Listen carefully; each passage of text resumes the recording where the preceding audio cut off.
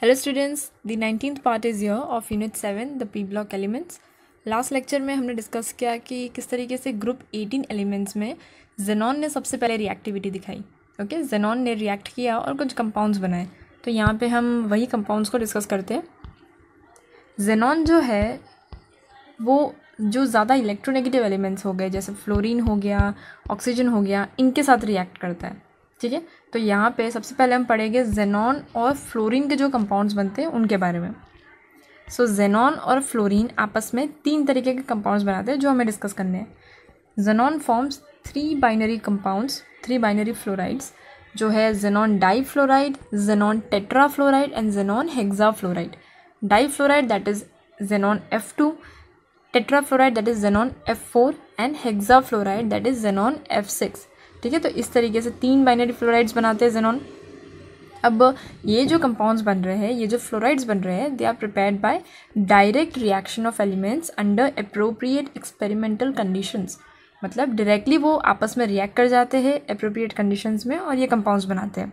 जैसे यहाँ पे very first preparation that is of xenon di fluoride xenon आया और फ्लोरिन आया, आपस में दोनों डायरेक्टली रिएक्ट करेंगे। और क्या होगा यहाँ पे? जेनॉन जो होगा ना, वो एक्सेस में लिया जाएगा। आपस में इस तरीके से रिएक्ट होगा। Six seventy three kelvin one bar pressure condition पे और ये बनाएगा जेनॉन डाई फ्लोराइड ओके ये जो कंपाउंड बना जेनॉन डाई फ्लोराइड इसका स्ट्रक्चर होता है कुछ ऐसा। यहाँ पे जो ये ये और ये ये जो तीन है this is lone pairs okay तीन लोन पेयर है और यहाँ पे दो बॉन्ड पेयर्स है, क्योंकि दो बॉन्ड बना रहा है और तीन lone pair as it is है। अब ये जो तीन लोन पेयर और दो बॉन्ड पेयर्स है, इससे क्या पता चल रहा है कि इसकी ज्योमेट्री जो है, वो हो जाती है ट्राइगोनल बाई पिरामिडल जिसे हम TBP भी कहते हैं। ट्राइगोनल बाई पिरामिडल अब ये कैसे हुआ ट्राइगोनल बाई पिरामिडल बिकॉज़ यहाँ पे देखिए this is forming a triangle ठीक है? ये ट्राइंगल जैसा बन रहा है। एंड ट्राइंगल के ऊपर एक बॉन्ड नीचे एक बॉन्ड सो यहाँ पे एक पिरामिड बन जाएगा, यहाँ पे एक पिरामिड बन जाएगा। तो हो गया ना ये ट्राइगोनल बाई पिरामिडल है कि नहीं? सो so, ज्योमेट्री जो है वो हो जाती है ट्राइगोनल बाई पिरामिडल अगर स्ट्रक्चर की बात करें तो स्ट्रक्चर कैसा होता है इसका? स्ट्रक्चर के लिए हम लोन पेयर्स जो है उन्हें इग्नोर करेंगे. लोन पेयर्स को अगर आप हटा दो तो जेनॉन का स्ट्रक्चर क्या हो जाएगा? फ्लोरीन यहाँ पे और एक फ्लोरीन यहाँ पे. तो इस तरीके से तो एक सिंपल लीनियर स्ट्रक्चर बन रहा है. सो इसका स्ट्रक्चर क्या हो जाता है? लीनियर स्ट्रक्चर ठीक है? स्ट्रक्चर हो जाता है लीनियर स्ट्रक्चर ज्योमेट्री है ट्राइगोनल बाई पिरामिडल अब इसका हाइब्रिडाइजेशन देखते हैं।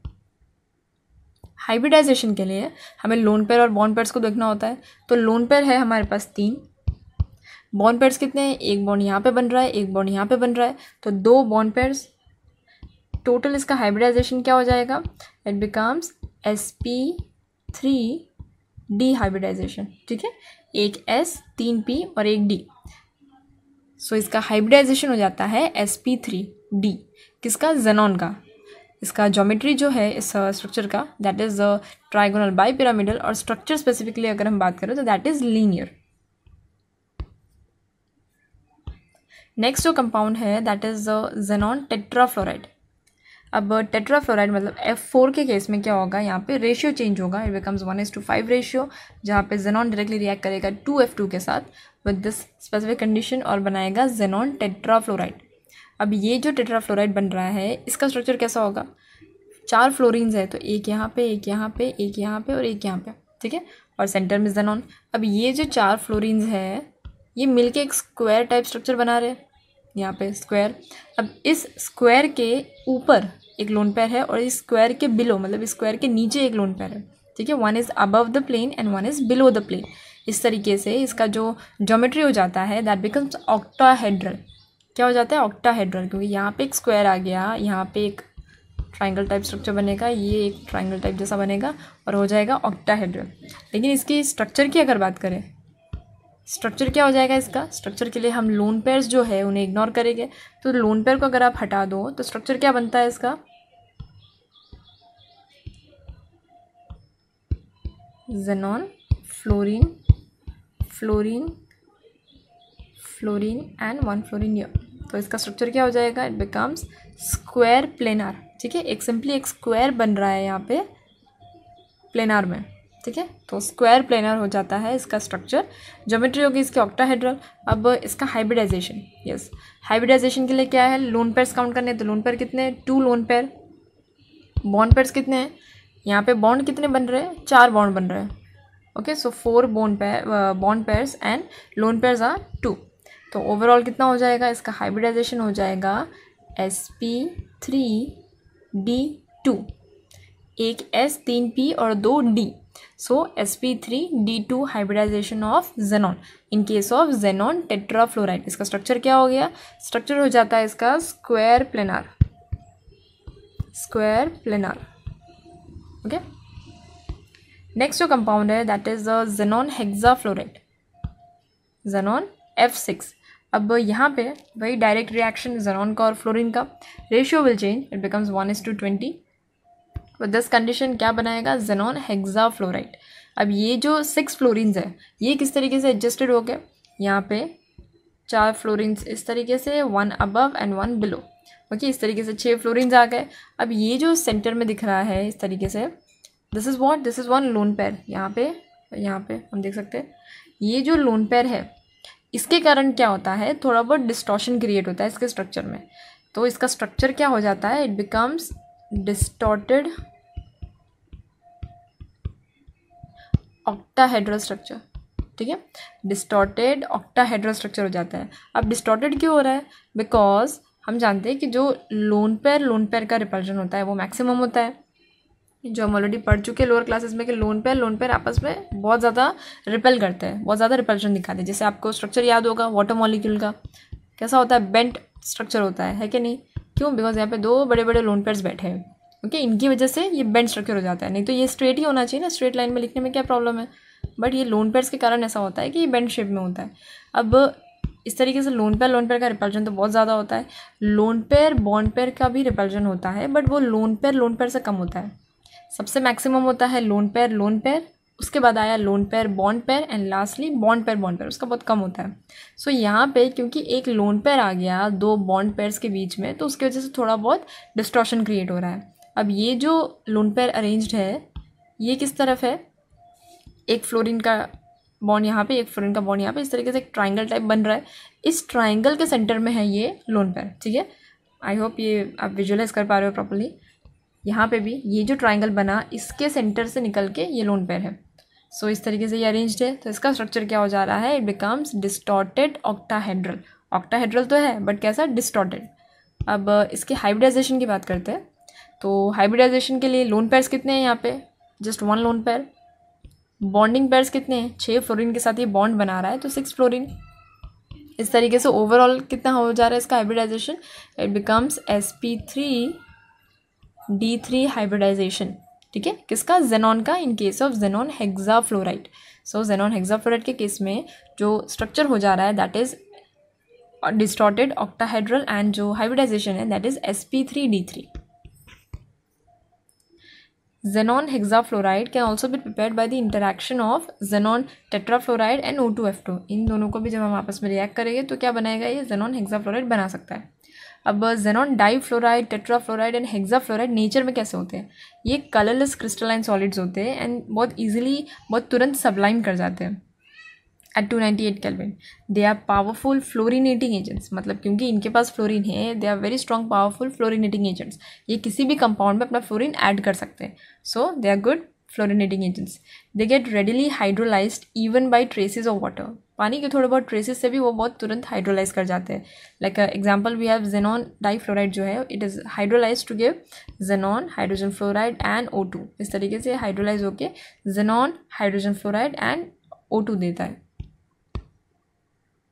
जेनॉन डाईफ्लोराइड एंड टेट्राफ्लोराइड क्या है इसका structure linear and square planar hexafluoride के केस में, क्योंकि सेवन इलेक्ट्रॉन पेयर आ रहे हैं मतलब छः bonding pair and one lone pair तो इसका स्ट्रक्चर हो जाता है distorted octahedral that we just discussed Xenon fluorides react with fluoride ion acceptors to form cationic species and fluoride ion donors to form fluoroanions.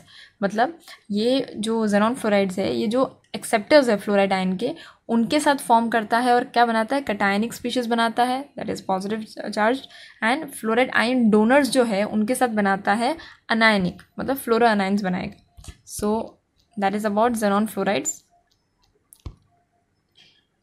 अब xenon और oxygen के compounds xenon और oxygen के कंपाउंड्स में hydrolysis of xenon tetrafluoride and hexafluoride with water gives xenon trioxide ये कैसे बन रहा है? हाइड्रोलिसिस हो रहा है जब टेट्राफ्लोराइड और हेक्साफ्लोराइड जो जेनॉन के और फ्लोरिन के कंपाउंड्स है, जब इनका हाइड्रोलिसिस होगा पानी के साथ तो इट गिव्स जेनॉन ट्राईऑक्साइड यहाँ पे जेनॉन टेट्राफ्लोराइड का जब हाइड्रोलिसिस होगा तो इट विल गिव ये सिमिलर हाइड्रोलिसिस कंपाउंड्स देखते हैं, जैसे जेनॉन आ गया हाइड्रोजन फ्लोराइड आ गया एंड ओ टू आ गया। यहाँ पे एक चीज़ नहीं ऐड हुई that is xenon trioxide then xenon hexafluoride के केस में भी xenon trioxide and H F this xenon hexafluoride जो है, जो हाइड्रोलिसिस दिखा के दिस ट्राईऑक्साइड बना रहा है जेनॉन का, ये तुरंत एक ही स्टेप का रिएक्शन नहीं है। यहाँ पे कुछ स्टेप्स आते हैं बीच में। जैसे जेनॉन हेक्साफ्लोराइड जो है, वो सबसे पहले एक वाटर मॉलिक्यूल के साथ रिएक्ट करेगा। And it will form xenon oxygen F four okay ये क्या बना? This is xenon oxy tetrafluoride ठीक है? पहले स्टेप में ये बना, दूसरे स्टेप में क्योंकि हमारे पास तीन मोल्स एच टू ओ है तो एक स्टेप में तो ये बन गया। दूसरे स्टेप में जब ये वापस पानी के साथ रिएक्ट करेगा दिस जेनॉन ऑक्सी टेट्राफ्लोराइड जब दोबारा ये रिएक्ट करेगा तो ये क्या बनाएगा? It forms xenon O two F two this is what this is xenon dioxy difluoride ठीक है? अब ये डाईऑक्सी डाईफ्लोराइड बना, यहाँ पे साइड प्रोडक्ट में एचएफ भी बन रहा है। I am not writing it due to lack of space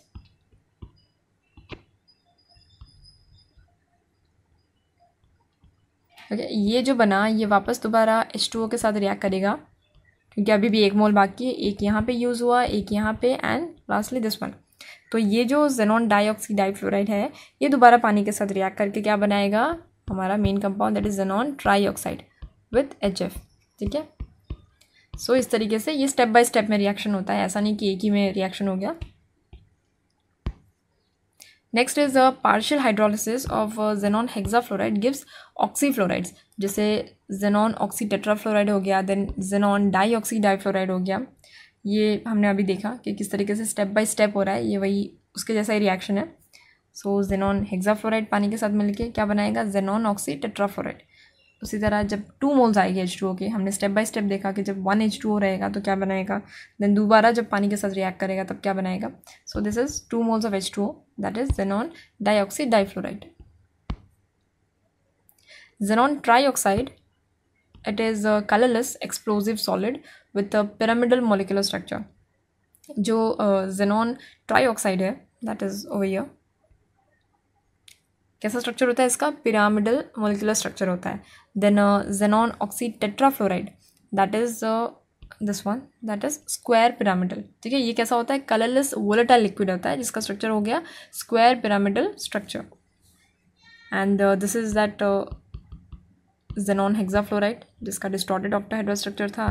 This is xenon tetrafluoride with square planar structure and the linear structure of xenon difluoride now comes the uses कि group eighteen के जो elements हैं इनका use कहाँ कहाँ होता है? Helium जो है वेरी फ़र्स्ट ये काफ़ी पॉपुलर इसका यूज़ है दैट हीलियम बलून्स ये काफ़ी लोगों ने देखा होगा। हीलियम जो है वो लाइट नॉन इन्फ्लेमेबल है इस वजह से it is use in filling balloons for meteorological observation then gas cooled nuclear reactors में भी ये यूज़ होता है। लिक्विड हीलियम जो है उसे क्रायोजेनिक एजेंट्स के तौर पे यूज़ किया जाता है। क्रायोजेनिक जो uh, एक ब्रांच uh, है जो बहुत ही लो टेम्परेचर पे वर्क करता है। ओके सो बहुत ही ठंडा टेम्परेचर होता है वहाँ पे। वहाँ पे हीलियम को यूज़ किया जाता है। It produce and sustains powerful super conducting magnets which form an essential part of modern N M R spectrometers okay that is nuclear magnetic resonance ये जो है, ये एम आर आई सिस्टम्स में काफ़ी आपने देखा होगा मतलब जो इस टाइप का एम आर आई होता है, जो स्कैनिंग होती है एक्सीडेंट्स या कोई भी केसेस में बीमारियों के केसेस में ये वहाँ पे यूज़ होता है। It is use as a diluent for oxygen in modern diving apparatus जो डाइवर्स होते हैं अंडर सी जो डाइव कर रहे हैं उनके लिए सिलेंडर्स uh, आपने देखा होगा वो काफ़ी हैवी सिलेंडर्स कैरी करते हैं तो उसमें वो डाइल्यूएंट के तौर पर भी यूज़ होता है। बिकॉज़ उसकी जो सोलिबिलिटी होती है ना पानी में वो कम होती है उसकी वजह से। देन नियॉन नियॉन का तो काफ़ी यूज़ है। काफ़ी ट्रेंडिंग है नियॉन तो। So neon is use in discharge tubes and fluorescent bulbs for advertisement जो एकदम टिमटिमाते एडवर्टाइजमेंट्स होते हैं लाइटनिंग एंड ऑल वहाँ पे नियॉन काफ़ी यूज़ होता है। नियॉन बल्ब जो होते हैं, वो बोटानिकल गार्डन्स होते हैं देन ग्रीन हाउसेज जो बन रहे हैं, उन सब में भी काफ़ी यूज़ होता है। Argon it is mainly use to provide an inert atmosphere काफ़ी एक्सपेरिमेंट्स जो क्लास इलेवेंथ में आप लोगों ने पढ़ा होगा डिस्चार्ज ट्यूब एक्सपेरिमेंट एक्सेट्रा उन सब में जो इनर्ट एटमोसफियर देना होता है उसके लिए आर्गन को यूज़ किया जाता है so it is usually use mainly to provide an inert atmosphere in high temperature metallurgical processes जहाँ पे वेल्डिंग हो गया या लॉइस के लिए हो गया then also for electric bulbs electric bulb जो होते हैं ना दस ऐसा जो स्ट्रक्चर होता है इलेक्ट्रिक बल्ब्स का उसके अंदर जो फिलामेंट के अराउंड भी जो इन्वायरमेंट देना होता है वहाँ पे भी इन्हें यूज़ किया जाता है। Then in the lab for handling substances that are air sensitive जो एयर सेंसिटिव सब्सटेंस है लैब में जो यूज़ किए जाते हैं ड्यूरिंग प्रैक्टिकल्स एंड एक्सपेरिमेंट्स वहाँ पे भी इसे यूज़ किया जाता है। Then there are no significant usages of xenon and krypton xenon और क्रिप्टॉन का इतना कुछ मेजर uh, यूज़ नहीं है। They are use in light bulbs जो स्पेशल पर्पज़ के लिए डिज़ाइन किए जाते हैं, वहीं पर सिर्फ़ ये यूज़ होता है।